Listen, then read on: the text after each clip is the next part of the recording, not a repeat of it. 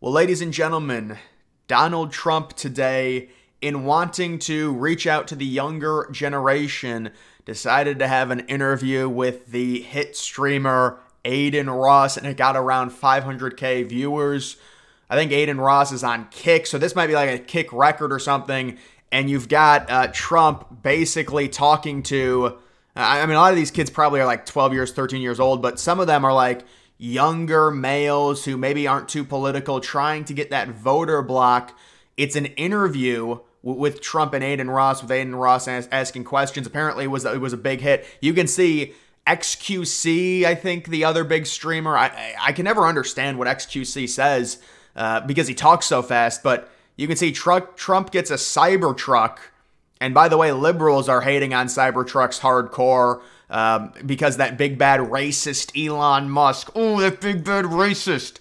Elon Musk, an amazing innovator, but no, no, no. He's not Democrat enough. He's big bad racist, so we have to hate on everything that he does.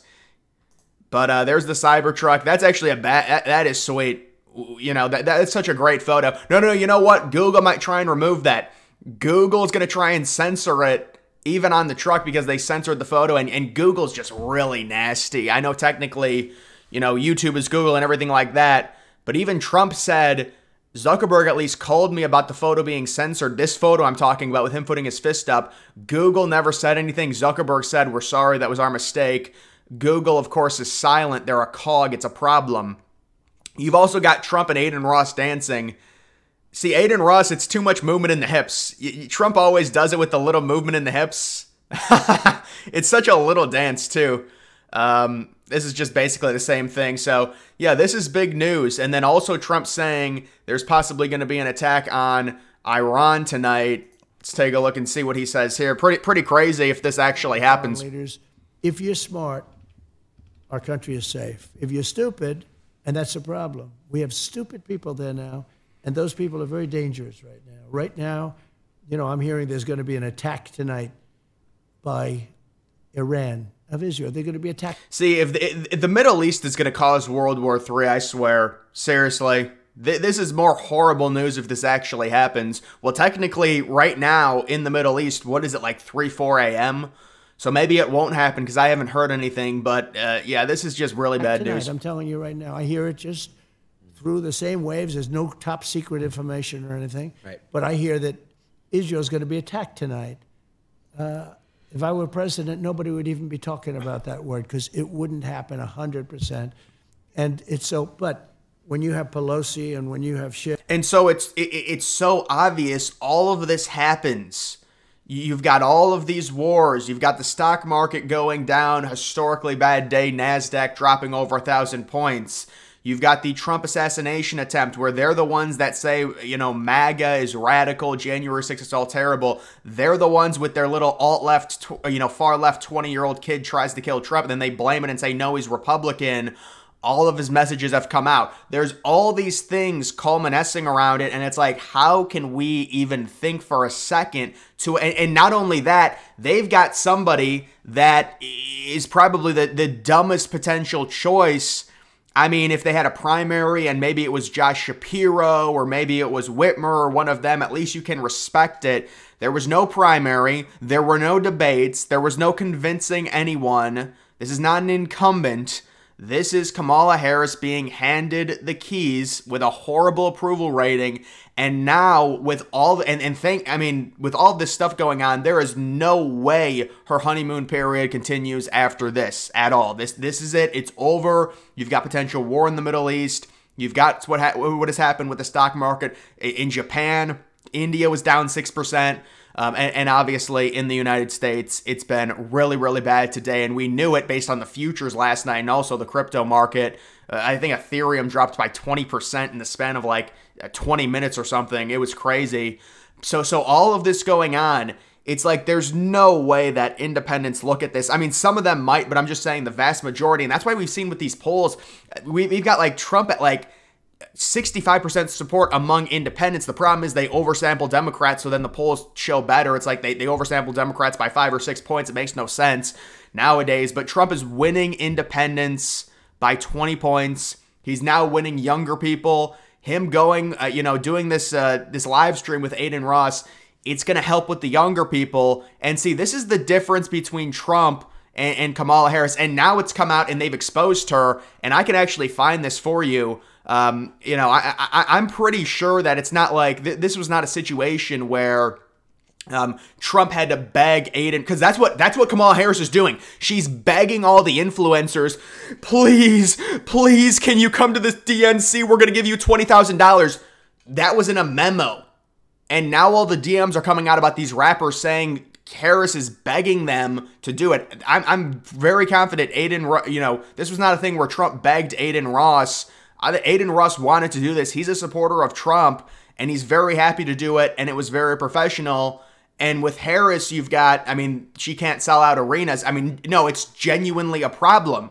There's like 500 people that want to go to her events. When you've got an arena that's 13K, you have to do other things. You know, her bringing out someone to shake their ass, the Democrats don't want to do that. They have to do that to get people to go to these events. And also when it comes to the voter block, but this is the difference. Even Adin Ross, someone that people say, well, he's a streamer, you know, maybe, you know, he's dumb, whatever. He just had an interview with Trump. It wasn't anything crazy. Yeah, he gifted him a Cybertruck, but it was just an interview where they talked. It's not anything explicit to where it's bad.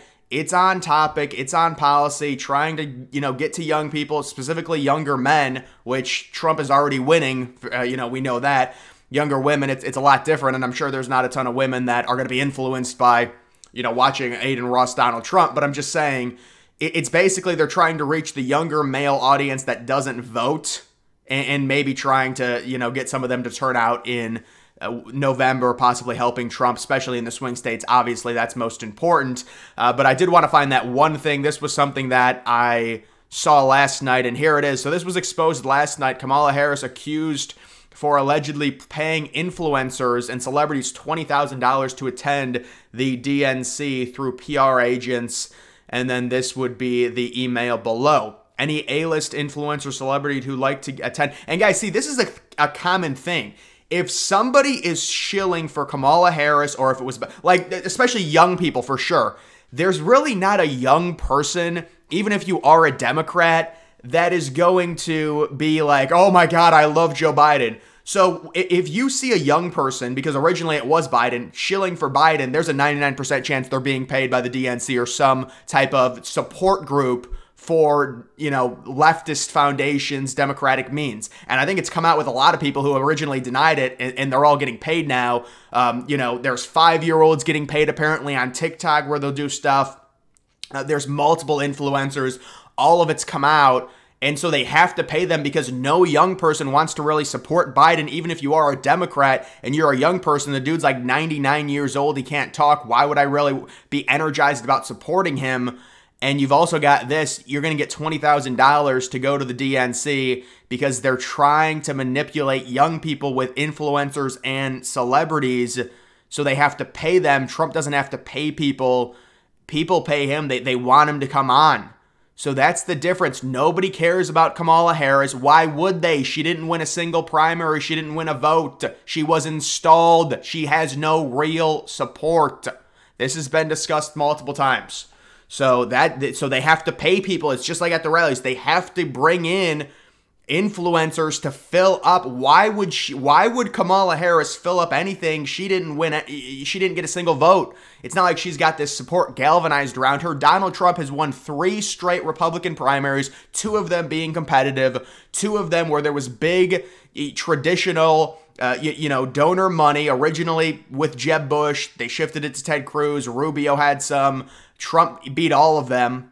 And then obviously the DeSantis, they shifted to, to Nikki Haley. It doesn't matter. Trump wins in 2024, the primary as well. So the difference is so stark and it's just, you know, thing on top of thing on top of thing on top of thing. Biden Trump debate. Trump destroys him. Trump nearly dies. He comes up with the fight. Fight, fight, fight. And now you have them installing Harris because they knew Biden would get crushed. Biden doesn't want to even leave the White House. They have to blackmail him. And now Harris goes in, doesn't take any questions, doesn't, nothing happens. She's got negative 15 approval rating, and poof, the mainstream media, with how the propaganda is just crazy, now they've got her at like a, you know a minus five, minus six approval. I think it's going to go back down. Thank God.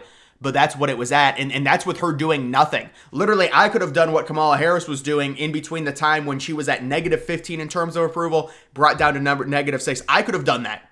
Anyone could have done that. She didn't do anything. It was it was just all propaganda. That's an amazing amazing thing to look at when you look at that period where literally nothing happened outside of pure propaganda. And, and, and it helps. It does it does a lot when it comes to mainstream media. It's sad that that you know that's what happens to people, but it is understandable. that They're all screaming, screaming, screaming, screaming about Kamala Harris, Kamala Harris, Kamala Harris. It's going to have some type of an impact. So, um, you know, she's a, so you've got Trump going on with Adin Ross, where Adin Ross is trying to get him. He loves Trump. He's a big fan. And this is the opposite. They have to pay people $20,000 to show up to the DNC because no young Democrat cares.